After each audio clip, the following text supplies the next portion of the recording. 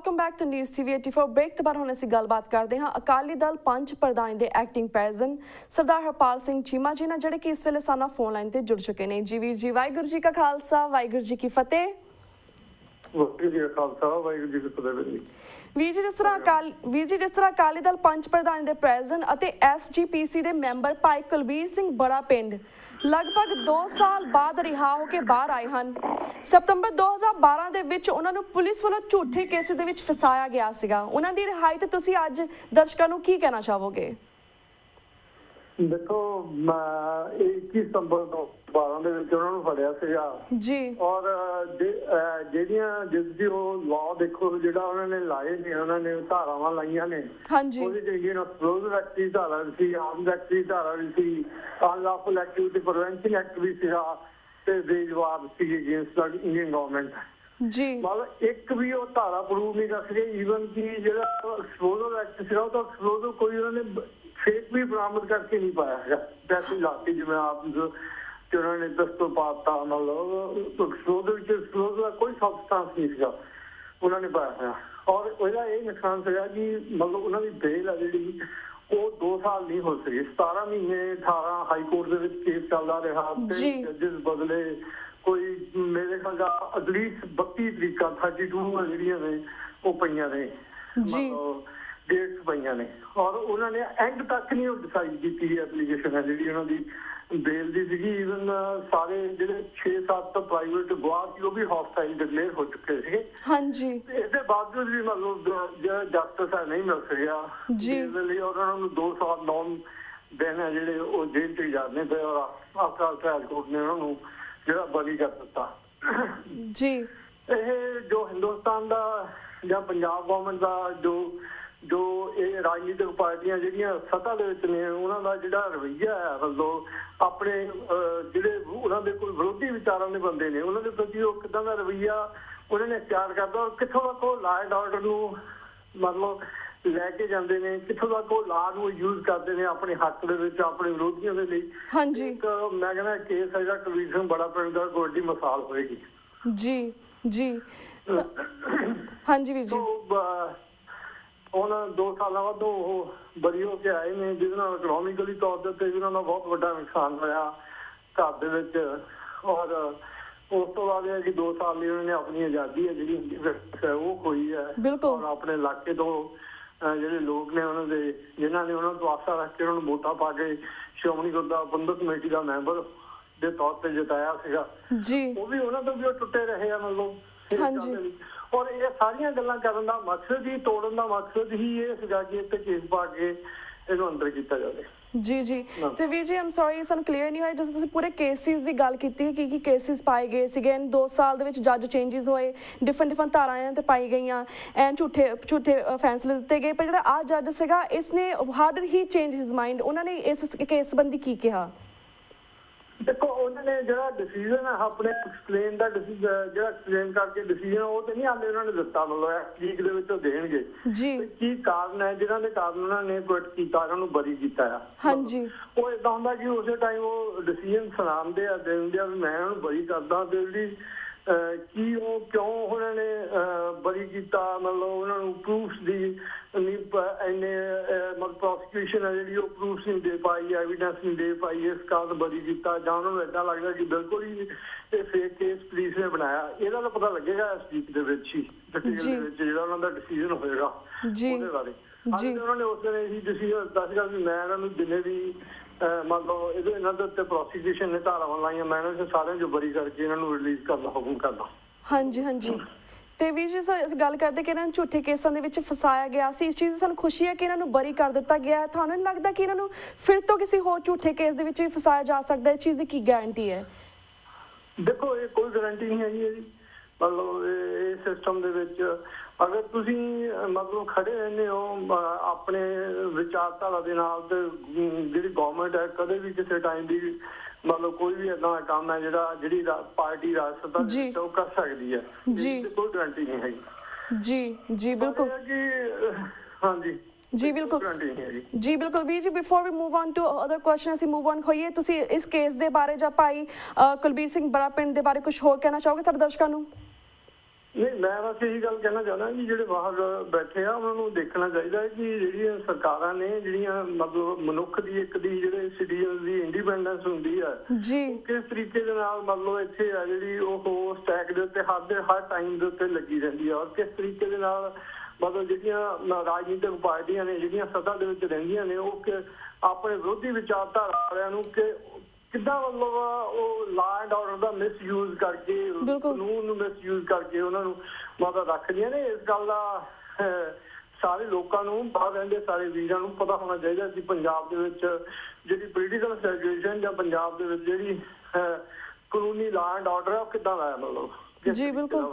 ਬਿਲਕੁਲ ਵੀਰ ਜੀ ਮੈਂ ਵੀ ਐਗਰੀ ਵਿਦ ਯੂ ਬਿਕੋਜ਼ ਜਿਸ ਤਰ੍ਹਾਂ ਪੰਜਾਬ ਦੇ ਵਿੱਚ ਲਾਅ ਐਂਡ ਆਰਡਰ ਦਾ ਮਿਸਯੂਜ਼ ਕੀਤਾ ਜਾਂਦਾ ਹੈ ਜਿਸ ਤਰ੍ਹਾਂ ਬੀਤੇ ਦਿਨੀ ਜ਼ਿਲ੍ਹਾ ਲੁਧਿਆਣਾ ਦੇ ਵਿੱਚ ਦੋ ਸਕੇ ਭਰਾਵਾਂ ਨੂੰ ਪੁਲਿਸ ਨੇ ਝੂਠਾ ਮੁਕਾਬਲਾ ਬਣਾ ਕੇ ਮਾਰ ਮੁਕਾਇਆ ਸੀਗਾ ਜਿਸ ਤੋਂ ਜ਼ਾਹਰ ਹੈ ਕਿ ਪੰਜਾਬ ਦੇ ਜਿਹੜੇ ਪੰਜਾਬ ਦੇ ਵਿੱਚ ਕਾਨੂੰਨ ਦਾ ਰਾਜ ਨਹੀਂ ਪਰ ਝੂਠੇ ਜਿਹੜੇ ਪੁਲਿਸ ਆ ਗੁੰਡਾ ਪੁਲਿਸ ਦਾ ਗੁੰਡਾ ਰਾਜ ਹੈ ਜਿਸ ਪਹਿਲਾਂ ਸਾਡੇ ਵੀਰ ਨੂੰ ਇਹਨਾਂ ਨੇ ਝੂਠੇ ਕੇਸਾਂ ਦੇ ਵਿੱਚ ਫਸਾ ਦਿੱਤਾ ਤੇ ਹੁਣ ਇਹ ਮਾਸੂਮ ਜਿਹੇ ਦੋ ਬੱਚੇ ਮਾਰ ਦਿੱਤੇ ਨੇ ਇਸ ਬਾਰੇ ਤੁਸੀਂ ਕੀ ਕਹਿਣਾ ਚਾਹੋਗੇ?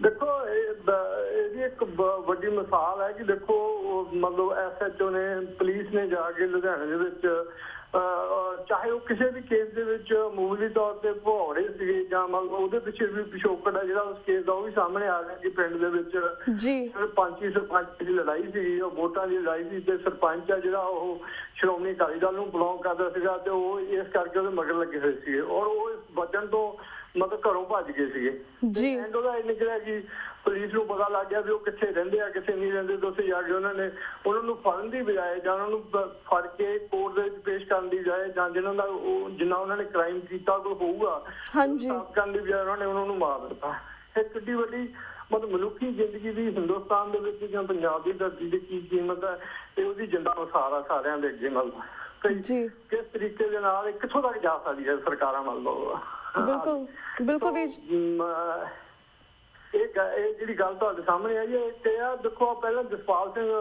ਗੁਰਦਾਸਪੁਰ ਦਾ ਜੇਲ੍ਹ ਸੀਗਾ ਉਹ ਵੀ ਸ਼ਰੇਆਮ ਇਹਨਾਂ ਨੇ ਮਾਰਤਾ ਨੌਜਵਾਨ ਮੁੰਡਾ ਸੀ ਕੋਈ ਘਰ ਦਾ ਮਤਲਬ ਇੱਕ ਸਿਰਫ ਪ੍ਰੋਟੈਸਟ ਕਰਦਾ ਕਰਦਾ ਜਾਂਦਾ ਹੋਇਆ ਔਰ ਉਹਦਾ ਤੇ ਕੋਈ ਅੱਜ ਐਕਸ਼ਨ ਨਹੀਂ ਲਿਆ ਗਿਆ ਕਈ ਕਿੰਨੀਆਂ ਰਿਪੋਰਟਾਂ ਆਈਆਂ ਨੇ ਔਰ ਮਿਨਿਸਟਰ ਦੀ ਰਿਪੋਰਟ ਕਮਿਸ਼ਨਰ ਦੀ ਰਿਪੋਰਟ ਨੇ ਵੀ ਇਹ ਗੱਲ ਸਾਬਤ ਕੀਤੀ ਹੈ ਕਿ ਮਤਲਬ ਜਿਹੜੀ ਗੋਲੀ ਚੱਲੀ ਹੈ ਔਰ ਗੋਲੀ ਨਾਲ ਮਾਰਿਆ ਗਿਆ। ਅੱਜ ਕੱਲ੍ਹ ਉਹਦੀ ਅਕਾਊਂਟੇਬਿਲਟੀ ਆ, ਜਿਹੜੀ ਰਿਸਪੌਂਸਿਬਿਲਟੀ ਆ, ਇਹਨੇ ਤੈਅ ਹੀ ਨਹੀਂ ਕੀਤੀ ਵੀ ਕਿਹੜੇ ਬੰਦੇ ਨੇ ਮਾਰ ਦਿੱਤਾ। ਜੀ ਬਿਲਕੁਲ। ਬਿਲਕੁਲ ਵੀਰ ਜੀ ਮੈਂ ਵੀ ਐਗਰੀ ਵਿਦ ਯੂ ਕਿ ਇਹ ਪੰਜਾਬ ਪੁਲਿਸ ਹੋਵੇ ਨਾਲੇ ਬਹੁਤ ਈਜ਼ੀ ਹੈ। ਕਿਸੇ ਵੀ ਬੱਚੇ ਨੂੰ ਉਹਨਾਂ ਘਰੋਂ ਚੁੱਕ ਕੇ ਜਾਂ ਫਿਰ ਲੋਕਾਂ ਦੇ ਸਾਹਮਣੇ ਸ਼ਰੇਆਮ ਚੁੱਕ ਕੇ ਗੋਲੀਆਂ ਦਾ ਨਿਸ਼ਾਨਾ ਬਣਾਉਂਦੇ ਨੇ। ਚਾਹੇ ਸਾਡੇ ਵੀਰ ਇਹਨਾਂ ਨੇ ਜਿਸ ਤਰ੍ਹਾਂ 84 ਤੋਂ ਲੈ ਕੇ 93 ਤੱਕ ਘਰਾਂ ਤੋਂ ਵਿੱਚੋਂ ਚੁੱਕ ਚੁੱਕ ਕੇ ਝੂਠੇ ਪੁਲਿਸ ਮੁਕਾਬਲਿਆਂ ਵਿੱਚ ਮਾਰੇ ਸੀ। ਹੁਣ ਸਾਡਾ ਵੀਰ ਜਿਹੜਾ ਅਕਾਲੀ ਦਲ ਪੰਚ ਪ੍ਰਧਾਨ ਦੇ ਪ੍ਰੈਜ਼ੀਡੈਂਟ ਹੈ ਵੀਰ ਕੁਲਬੀਰ ਸਿੰਘ ਬੜਾ ਪਿੰਡ ਇਹਨਾਂ ਨੂੰ ਝੂਠੇ ਪੁਲਿਸ ਪੁਲਿਸ ਕੀ ਕਹਿੰਦਾ ਹੁੰਦਾ ਕੇਸਿਸ ਦੇ ਵਿੱਚ ਫਸਾਇਆ ਹੋਇਆ ਆਲਸੋ ਜਿਸ ਤਰ੍ਹਾਂ ਜਸਪਾਲ ਸਿੰਘ ਵੀਰ ਜੀ ਦੀ ਗੱਲ ਕੀਤੀ ਹੈ ਉਹਨਾਂ ਨੇ ਕਿਸ ਤਰ੍ਹਾਂ ਇਹਨਾਂ ਨੇ ਸ਼ਰੇਆਮ ਇੱਕ ਸਟੂਡੈਂਟ ਨੂੰ ਕਿਸ ਤਰ੍ਹਾਂ ਮਾਰਿਆ? So this is well tells you ਕਿ ਜਿਹੜਾ ਪੰਜਾਬ ਦਾ ਜਿਹੜਾ ਪੁਲਿਸ ਹੈ ਕਿਸ ਤਰ੍ਹਾਂ ਗੁੰਡਾ ਰਾਜ ਚੱਲ ਰਿਹਾ। ਐਂਡ ਪੰਜਾਬ ਦੀ ਜਿਹੜੀ ਸਰਕਾਰ ਹੈ ਉਹ ਕੁਝ ਇਸ ਇਸ ਬਾਰੇ ਕੁਝ ਕਰ ਨਹੀਂ ਰਹੀ। ਐਂਡ ਉਹਨਾਂ ਨੇ ਆਪਣੀਆਂ ਅੱਖਾਂ ਕਿਸ ਤਰ੍ਹਾਂ ਮੀਚੀਆਂ ਹੋਈਆਂ ਨੇ ਬਿਕੋਜ਼ ਇਹ ਸਰਕਾਰ ਉਸੇ ਬੰਦੇ ਨੂੰ ਵੀ ਆਲਸੋ ਸਪੋਰਟ ਕਰਦੀ ਜਿਹੜਾ ਨਰਿੰਦਰ ਮੋਦੀ ਹੈ, ਜਿਸ ਨੂੰ ਜਿਹੜਾ ਅਮਰੀਕਾ ਆਇਆ ਸੀ ਪਿਛਲੇ 5 ਦਿਨਾਂ ਤੋਂ, ਕਿਸ ਤਰ੍ਹਾਂ ਅਸੀਂ ਉਹਦੇ ਖਿਲਾਫ ਪ੍ਰੋਟੈਸਟ ਕੀਤਾ, ਉਹਨੂੰ ਸ਼ਰਮੋ ਸ਼ਰਮੀ ਕਰਕੇ ਅਸੀਂ ਵਾਪਸ ਇੰਡੀਆ ਤੋੜ ਦਿੱਤਾ ਹੁਣ। ਤੇ ਵੀ ਜਿਹੜਾ ਨਰਿੰਦਰ ਮੋਦੀ ਹੈ 5 ਦਿਨ ਲਈ ਅਮਰੀਕਾ ਆਇਆ ਸੀ, ਉਸ ਵੇਲੇ ਬਾਅਦ ਦੇ ਵਿੱਚ ਪੰਜਾਬ ਦਾ ਜਾਂ ਇੰਡੀਆ ਦਾ ਕੀ ਹਾਲ ਸੀਗਾ? ਕਿਉਂਕਿ 5 ਦਿਨ ਲਈ ਜਿਹੜਾ ਬੰਦਾ ਸੀਗਾ ਬਾਹਰ ਆ ਗਿਆ ਸੀ ਕਰਪਸ਼ਨ ਖਤਮ ਹੋ ਗਈ ਹੋਣੀ ਹੈ। ਤੁਸੀਂ ਪੰਜਾਬ ਦੇ ਬਾਰੇ ਦੱਸੋ ਕਿ ਪੰਜਾਬ ਦੇ ਵਿੱਚ ਇਹਨਾਂ 5 ਦਿਨਾਂ ਦੇ ਵਿੱਚ ਕੀ ਹੋਇਆ? ਨਹੀਂ ਦੇਖੋ ਮੈਂ ਨਹੀਂ ਕਹਿੰਦਾ ਕਿਉਂਕਿ ਉਹ ਜਿਹੜਾ ਬਾਹਰ ਆਇਆ ਕਿ ਪੰਜਾਬ ਦੇ ਵਿੱਚ ਪੰਜਾਬ ਦੀ ਜਿਹੜੀ ਐਡਮਿਨਿਸਟ੍ਰੇਸ਼ਨ ਆ ਪ੍ਰਕਾਸ਼ ਸਿੰਘ ਬਾਦਲ ਜਾਂ ਡਿਪਟੀ ਚੀਫ ਮਿਨਿਸਟਰ ਜਿਹੜਾ। ਉਹ ਸੁਖਬੀਰ ਬਾਦਲ ਉਹਨਾਂ ਦੀ ਅਹ, ਹੁਕਮਨ ਦੀ ਨਾਲ ਜ਼ਿਆਦਾ ਤਮੀਜ਼ ਹੁੰਦੀ ਆ। ਇਸ ਗੱਲ ਦੇ ਲਈ। ਹਾਂਜੀ। ਸੋ ਇਹਦੇ ਬਾਹਰ ਜਾਣ ਦਾ ਸਾਡੇ ਸਿੱਖਾਂ ਦੇ ਉੱਤੇ ਇੱਕ ਦਾ ਅਸਰ ਸੀਗਾ ਹੀ ਕਿ ਇਸ ਗੱਲ ਦੇ ਲਈ ਕਿ ਮੰਨ ਲਓ ਜਿਸ ਤਰੀਕੇ ਦੇ ਨਾਲ ਇਹ ਆਣ ਕੇ ਕਈ ਵਾਰੀ ਸਿੱਖਾਂ ਨੂੰ ਵਾਅਦੇ ਕਰਦੇ ਆ ਜੋ ਗੁਜਰਾਤ ਦੇ ਵਿੱਚ ਪੰਜਾਬੀਆਂ ਦੇ ਨਾਲ ਹੋ ਰਿਹਾ ਸੀ ਇਹ ਇਸ਼ੂ ਬਣਿਆ ਰਿਹਾ ਮਤਲਬ ਵੋਟਾਂ ਦੇ ਵਿੱਚ ਤਾਂ ਹੀ ਤਾਂ ਸਿੱਖਾਂ ਦੀ ਐਡੀ ਵੱਡੀ ਪੱਧਰ ਤੇ ਜਿਹੜੀ ਇਹ ਮੋਦੀ ਲਹਿਰ ਸੀਗੀ ਇਹਦਾ ਪੰਜਾਬ ਦੇ ਉੱਤੇ ਕੋਈ ਅਸਰ ਨਹੀਂ ਸੀਗਾ। ਜੀ। ਇਸ ਗੱਲ ਦਾ। ਜਾਂ ਜੀ। ਦੂਜੇ ਦੇਸ਼ ਦੇ ਆ, ਪਰ ਸਿੱਖਾਂ ਨੂੰ ਇਸ ਗੱਲ ਦਾ ਪਤਾ ਹੈ ਕਿ ਮਤਲਬ ਸਾਡਾ ਦੁਸ਼ਮਣ ਜਿਹੜਾ ਕੌਣ ਹੈ ਤੇ ਕਿਉਂ ਨਹੀਂ ਸਾਨੂੰ ਮਤਲਬ ਜਿਹੜੇ ਅਧਿਕਾਰ ਮਿਲ ਰਹੇ ਉਦੋਂ ਵੀ ਗੁਜਰਾਤ ਦਾ ਮਸਲਾ ਬੜੀ ਵੱਡੀ ਵੱਡੀ ਪੱਧਰ ਦੇ ਉੱਤੇ ਉੱਥੇ ਹੈ ਕਿ ਇੱਥੇ ਪੰਜਾਬ ਦੇ ਵਿੱਚ ਇਹ ਉੱਥੇ ਰਹਿਣ ਨਹੀਂ ਦਿੰਦੇ ਮੁੰਡੇ ਸਾਡੇ ਜੇਲ੍ਹਾਂ ਦੇ ਵਿੱਚ ਨੇ ਜਿਹੜੇ ਔਰ ਜਗਦਾਰ ਗਵਰਨਮੈਂਟ ਉਹਨਾਂ ਦੇ ਦੇਸ਼ ਤਬਦੀਲਾ ਪਾ ਰਹੀ ਹੈ ਜੀ। 24 24 25 25 ਸਾਲ ਹੋ ਗਏ ਇਹਨਾਂ ਨੇ। ਉਹਨੂੰ ਲਾਲ ਸਿੰਘ ਕਾਲਗੜ ਹੈ ਉਹਨੂੰ 24 ਸਾਲ ਹੋ ਗਏ ਉਹਨੇ ਮਤਲਬ। ਉਹ high Punjab and Haryana high court ਨੇ ਉਹਨੂੰ ਰਿਹਾ ਕੀਤਾ ਹੋਇਆ।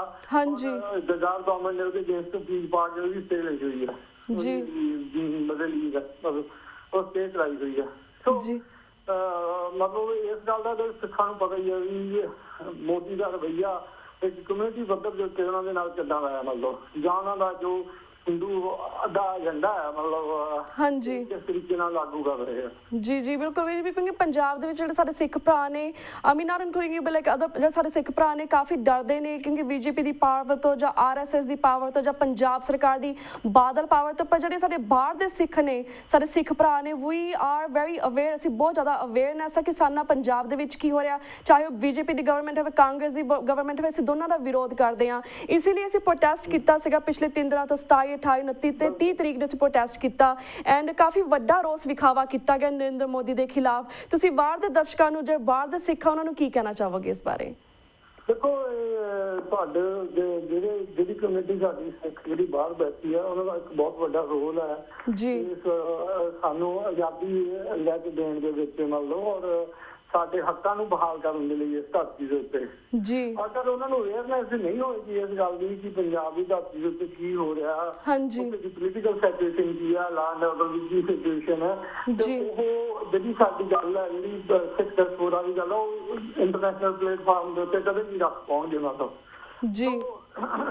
ਅਭੀ ਸਾਨੂੰ ਪਤਾ ਇਸ ਗੱਲ ਦਾ ਵੀ ਜਿਹੜਾ ਬਾਹਰ ਬੈਠਾ ਸਿੱਖ ਹੈ ਜਿਹੜਾ ਉਹ ਕਾਫੀ ਅਵੇਅਰ ਹੈ ਇਸ ਗੱਲ ਤੋਂ ਵੀ ਪੰਜਾਬ ਦੇ ਅੰਦਰ ਸਿਚੁਏਸ਼ਨ ਔਰ ਹੋਣਾ ਵੀ ਚਾਹੀਦਾ ਹੈ, ਅਗਰ ਅਸੀਂ ਆਪਣੇ ਹੱਕ ਲੈਣੇ ਆ ਔਰ ਅਹ, ਜੇ ਸਿੱਖਾਂ ਨੇ ਆਪਣੇ ਮਾਨ ਸਨਮਾਨ ਦੇ ਨਾਲ ਹਿੰਦੁਸਤਾਨ ਦੇ ਵਿੱਚ ਜਿਉਣਾ ਤੇ ਸਾਨੂੰ ਸਾਰਿਆਂ ਨੂੰ ਅਵੇਅਰ ਰਹਿਣਾ ਪਊਗਾ ਇਸ ਗੱਲ ਦੇ ਹਲੋ। ਜੀ ਬਿਲਕੁਲ ਵੀਰ ਜੀ ਥੈਂਕ ਯੂ ਸੋ ਯਾ ਵੀਰ ਜੀ ਬਿਲਕੁਲ ਤੁਸੀਂ ਸਹੀ ਕਹਿ ਰਹੇ ਹੋ ਬਿਕੋਜ਼ ਜਿਹੜੇ ਪੰਜਾਬ ਦੇ ਵਿੱਚ ਜੋ ਹੋ ਰਿਹਾ ਬਾਹਰਲੇ ਸਿੱਖ ਉਸ ਚੀਜ਼ ਲਈ ਅਵੇਅਰ ਆ ਪਰ ਜੋ ਅਸੀਂ ਬਾਹਰ ਦੇ ਵਿੱਚ ਪੰਜਾਬ ਦੇ ਸਿੱਖਾਂ ਲਈ ਜਾਂ ਆਪਣੀ ਕਮਿਊਨਿਟੀ ਲਈ ਜੋ ਕਰ ਰਹੇ ਆ ਅਸੀਂ ਤਾਂ ਹੀ ਤੁਹਾਡੇ ਕੋਲ ਕੁਐਸਚਨ ਪੁੱਛਿਆ ਕਿ ਤਾਂ ਕਿ ਜਿਹੜੇ ਪੰਜਾਬ ਦੇ ਵਿੱਚ ਸਿੱਖ ਨੇ ਉਹ ਉਹਨਾਂ ਨੂੰ ਵੀ ਪਤਾ ਲੱਗੇ ਕਿ ਬਾਹਰ ਦੇ ਵਿੱਚ ਅਸੀਂ ਕੀ ਕੀ ਕਰ ਰਹੇ ਆ ਵੀ ਆਰ ਅਵੇਅਰ ਕਦੀ ਵੀ ਪੰਜਾਬ ਦੇ ਵਿੱਚ ਸਿੱਖ ਇਹ ਨਾ ਸੋਚਣ ਕਿ ਜਿਹੜੇ ਬਾਹਰ ਦੇ ਸਿੱਖ ਆ ਉਹ ਸਾਲੇ ਕੀ ਕਰਦੇ ਨੇ ਉਹ ਕਿਹੜਾ ਮੈਂ ਪੰਜਾਬ ਦੇ ਵਿੱਚ ਚਾਹੁੰਦੇ but we are doing a lot ਅਸੀਂ ਜਿੰਨਾ ਵੀ ਸਾਡੇ ਕੋਲ ਹੁੰਦਾ ਵਾ ਅਸੀਂ ਕਰਨ ਦੀ ਕੋਸ਼ਿਸ਼ ਕਰਦੇ ਕੋਈ ਨਮੋਸ਼ੀ ਦੀ ਜ਼ਰੂਰਤ ਨਹੀਂ ਹੈਗੀ। ਜਿੰਨਾ ਵੀ ਅਸੀਂ ਸਰਕਾਰਾਂ ਨੂੰ ਇਹਨਾਂ ਨੂੰ ਦੇ ਸਾਰੇ ਪਨਿਸ਼ ਕਰ ਸਕਦੇ we are doing from our side ਪਰ ਵੀਰ ਜੀ thank you so much for your time ਕਿ ਤੁਸੀਂ ਸਾਡੇ ਦਰਸ਼ਕਾਂ ਦੇ ਰੂਬਰੂ ਹੋਏ। ਹੁਣ ਵਕਤ ਹੋ ਗਿਆ ਤੁਹਾਡੇ ਕੋਲ ਇਜਾਜ਼ਤ ਲੈਂਦਾ ਵੀਰ ਜੀ ਇਸ ਦੇ ਨਾਲ ਹੀ ਤੁਹਾਡੇ ਕੋਲ ਇਜਾਜ਼ਤ ਲੈਣੇ ਆ ਵਾਹਿਗੁਰੂ ਜੀ ਕਾ ਖਾਲਸਾ ਵਾਹਿਗੁਰੂ ਜੀ ਕੀ ਫਤਿਹ। ਵਾਹਿਗੁਰੂ ਜੀ ਕੀ ਫਤਿਹ ਜੀ ਇਸ ਦੇ ਅਸੀਂ ਤੁਹਾਡੇ ਕੋਲ ਇਜਾਜ਼ਤ ਲੈਣੇ ਆ ਕੱਲ ਨੂੰ ਮਿਲਾਂਗੇ ਸੇਮ ਟਾਈਮ ਸੇਮ ਸ਼ੋ ਤੇ। ਤਦ ਤੱਕ ਲਈ ਵਾਹਿਗੁਰੂ ਜੀ ਕਾ ਖਾਲਸਾ ਵਾਹਿਗੁਰੂ ਜੀ ਕੀ ਫਤਿਹ।